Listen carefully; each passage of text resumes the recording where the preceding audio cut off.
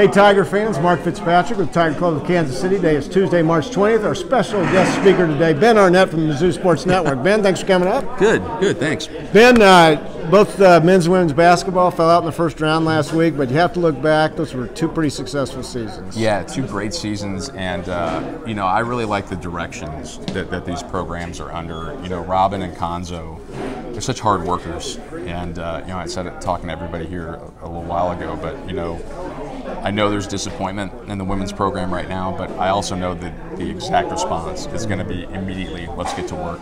Let's let's get to work. Let's fix what, what went wrong.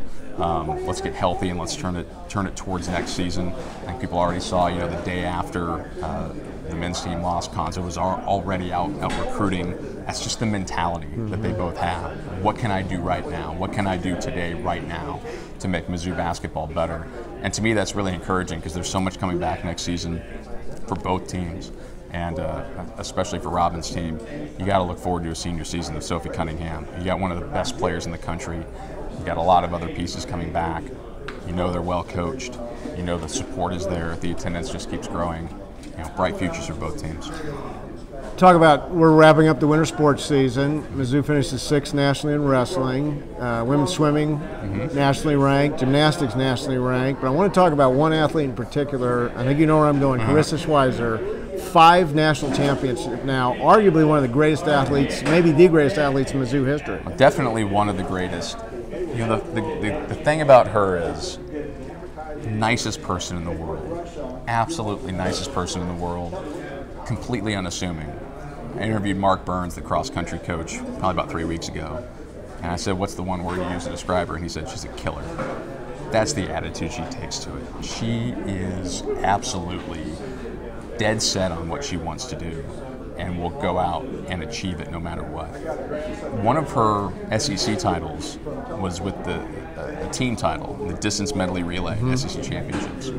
She was the anchor, when she took the baton, Mizzou was 70 meters behind. Oh, Closed it and won the thing.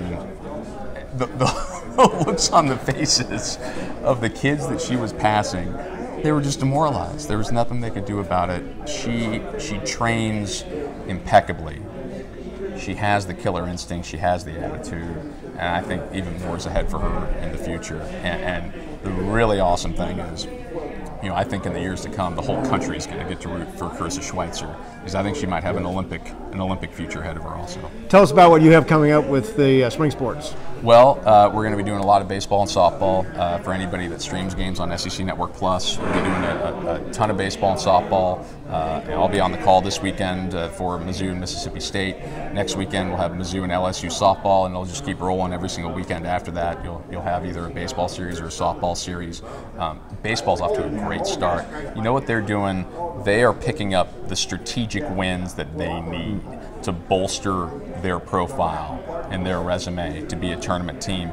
They're, they're going there and, and, and they're taking one out of three at LSU mm-hmm. in the toughest place to play in America, one of the toughest places to play in America. They got a midweek win over Miami.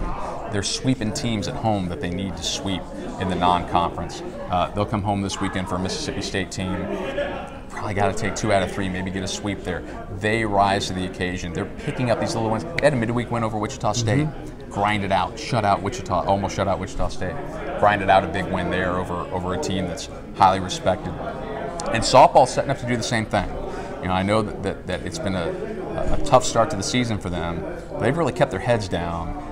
They got a, a, a top 25 win over, over Mississippi State, their second weekend of conference play. They got more huge series coming up.